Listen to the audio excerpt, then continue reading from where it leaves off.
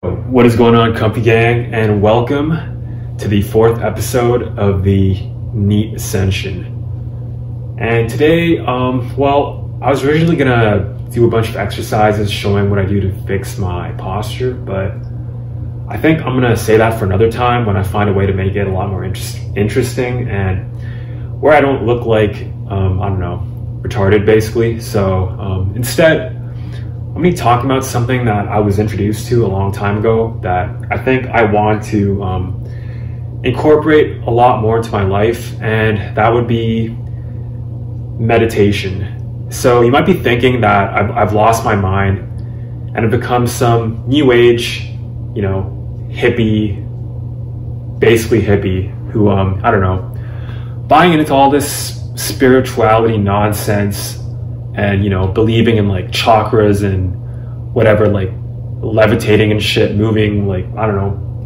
doing the fucking uh, naruto hand signs and uh, you know controlling your chakra or whatever. And you know i don't i don't think this is part of that to be honest. Um, the way i was introduced to meditation was really more as a form of therapy because my aunt is a therapist and she incorporates a lot of this stuff into her practice and she kind of introduced it to me back in the day where I wasn't really, you know, that, I guess, you know, that into it. I wasn't really a massive believer of meditating and all that stuff. But, you know, over time and after experiencing certain things, I realized that, you know, meditation, you know, or spiritual spirituality isn't really what most people think it is. Um, a lot of people assume it's some sort of like new age, I don't know, new age, whatever nonsense about, yeah, like I talked about before, but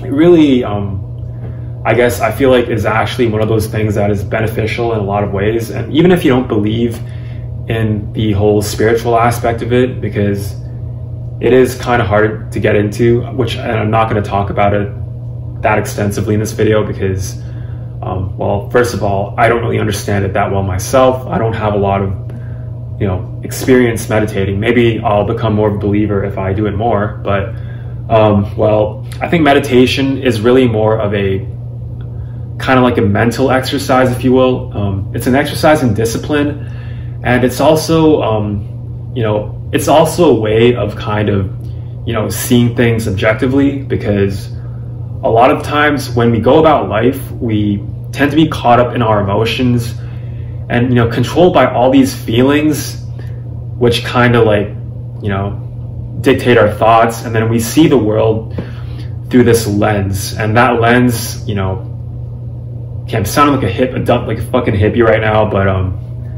this lens is our quote unquote ego.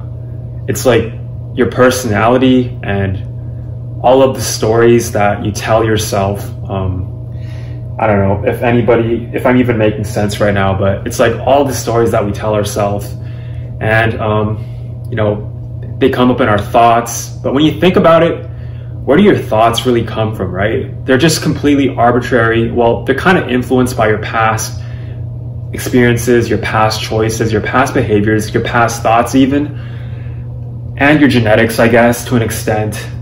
But at the end of the day, um, they really just kind of, you can kind of direct where your thoughts go. Like, for example, if you're trying to solve a problem, you might, you might think, oh, I need to solve this problem. And then you kind of focus on it, and then the thoughts just start coming. But the thoughts themselves are really arbitrary. And, you know, it's kind of good in the sense that, you know, it's all automated. It's like your subconscious, maybe, or, you know, the spiritualists will say it's the universe flowing through you. I don't really believe in that as of now. I think it's kind of, you know, maybe romanticizing it, although it, it is a good way to get people into it, I guess. But I think at the same time, while it can be helpful, it can also be extremely detrimental. Like, if you're an extremely negative person like I am with social anxiety, with all these other issues, you know, I don't know, even maybe somewhere on the spectrum, um, although I don't even know if this applies to that, to be honest. Maybe that's completely different. But when you're always thinking, it's like you can always, you can very easily get caught up in it. And, you know, the thoughts will just keep on coming. And it's like, when you think about one thing, it's like your mind just goes on autopilot and you go from one thought to the next to the next.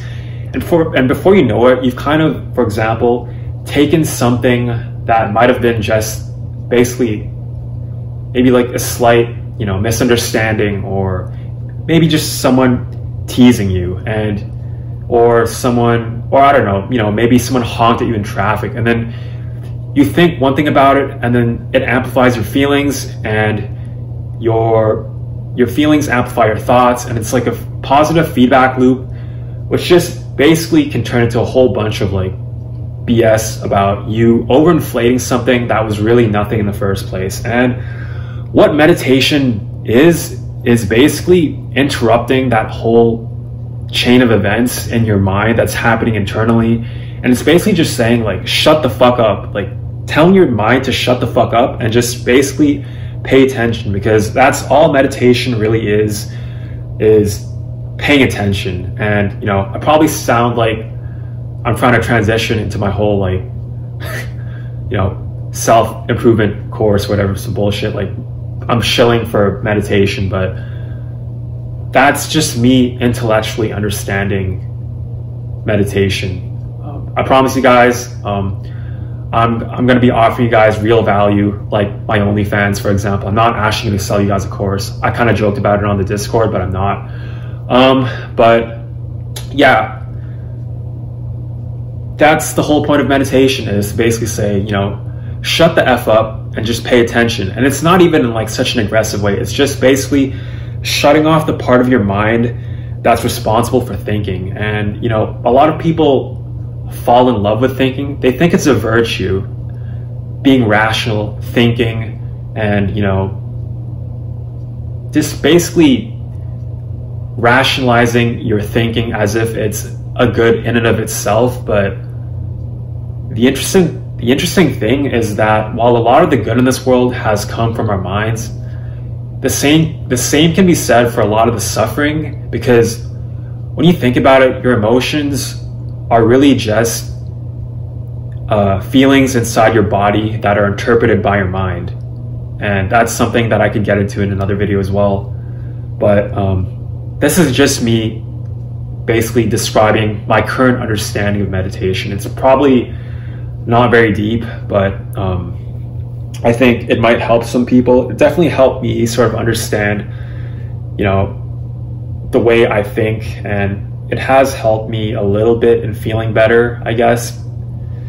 You know, maybe not losing my cool sometimes or saying stupid things I'll regret or, um, yeah, doing dumb stuff. But um, yeah, I intend to meditate a lot more. Um, and it's something that you can basically do anytime. You don't have to necessarily sit um, and cross legged and you know do this crap or whatever like you can just literally do it um, when you're at your chair, maybe just check yourself every, you know, do a vibe check. That can fucking cringe. Um, like check yourself every like I don't know, whenever you can remember, basically, and kind of say, okay, what am I feeling right now? Um, but your posture, even like it just basically kind of like shuts off the autopilot and puts you in the driver's seat just for a moment.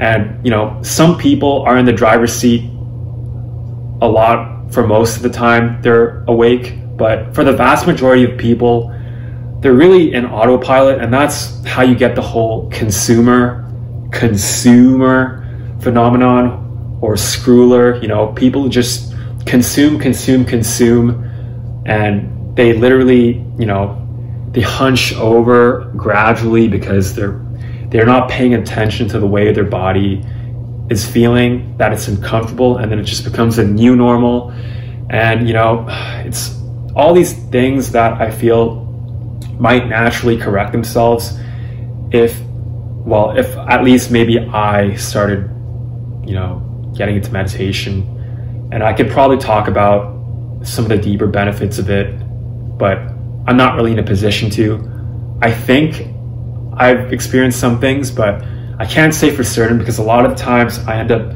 trying something and then, you know, not pushing through with it because I forget about it. And I tell people that I'm making so much progress on it, but I really forget about it within like a day or two. Not a day, maybe like a week or two. So anyways, yeah, so for the remainder of this video, I am going to be filming myself meditating and I'll let you guys know how I feel after.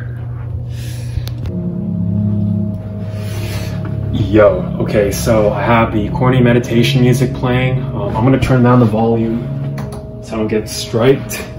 And I normally don't meditate with music, but um, I'm just doing it for the memes for, yeah, but anyways, I'm gonna start to try and meditate, so uh, wish me luck. Um, and I'll just talk about what I was paying attention to um, afterwards, so yeah.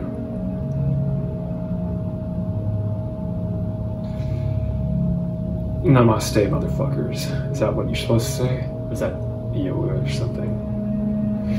Alright, time to stop.